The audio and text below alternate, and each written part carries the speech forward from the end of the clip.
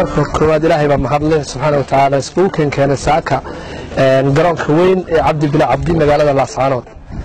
Marka xigta waxaan rabaa halkan inaan ku soo dhoweeyo dhalinyarada nooga timi ama kooxda kubadda cagta ee dalka australia jaaliyadda nooga timi.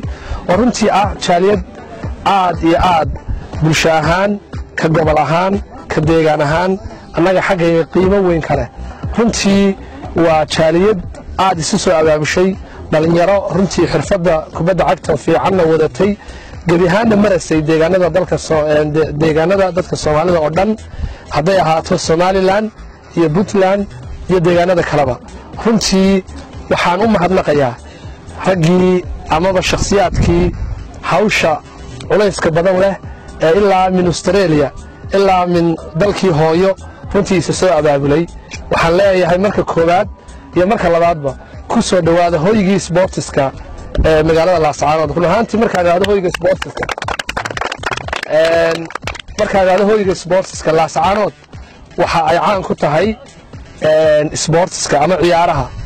Oo ilaa min zamaan ay ahayd gobol qani ku ah ciyaaraha sida ciyaaraha fudud iyo ciyaaraha kaleba.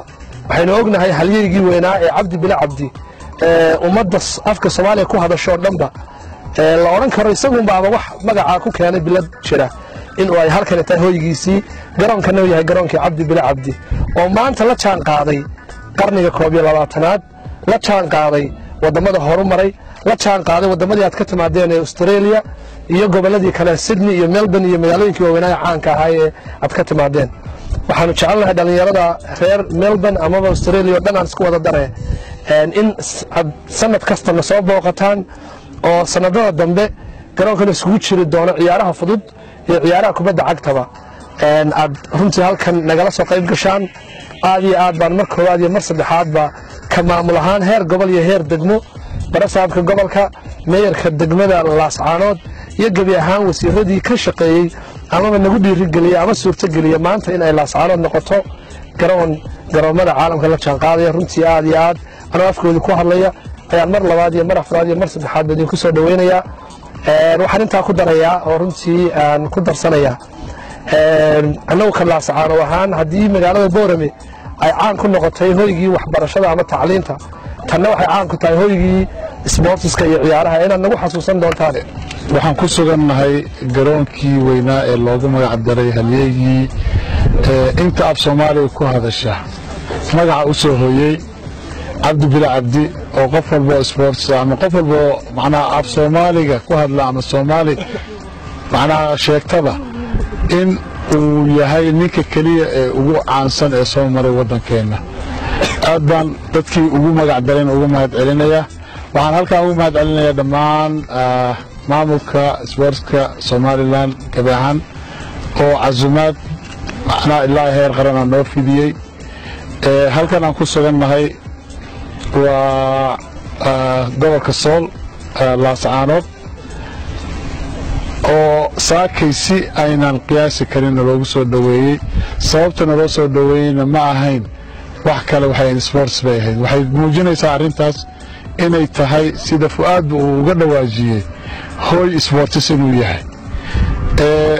Waxaan ka cudur daaranaynaa ka ahaan waxaa farxad noo ah in taariikhda reer laascaanood dadkeeda sboortska aan macnaa la qaybsan doono garoonkan dhismihiisii isagoon dhammaystirnayn. Inaan soo booqannay annagoo dhallinyaro yaryar wadna oo sboortis ah magac sboortis oo inta af soomaaliga ku hadasha ku samaynayey socdaal oo qof walboo sboortis sheegta u martinayay oo u hooyanayay. Dhammaan fu'aad maamulka reer laascaanood maamulka sool. Aad baan idinkaga mahad soo dhoweyntii fiicneed. Shacabka reer sool oo shacab sboorts ah aad baan idinkaga mahad sida farxadda leh aad magaalada noogu soo dhoweyseen ma aha sannadkii koowaad aan nimid somalilan waa sannadkii labaad.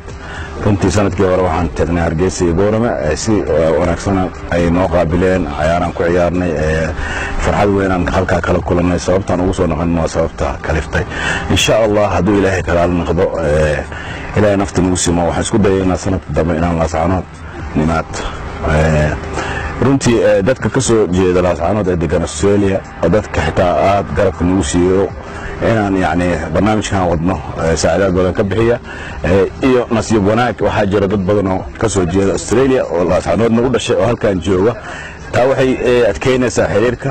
Hadduu ilaahay kala noqdo soo dhoweynta aan imaan doonno way adkeyn doontaa insha allah. Waxaan isku dayaynaa inaan eh, sanad dambe hadduu ilaahay kala noqdaan program ku darsano waa mahadsantihiin? Oo in badan aan isla deganeen dalka britain oo haddana ku guulaystay in garoonkan uu taabageliyo gacan weynna uu ka helay somalilan iyo shirkado gaara. Runtii waa fakir fiican eh, sida quruxda badan uu ii sheegay qaabka ay ku bilaabatay dhismaha garoonkan.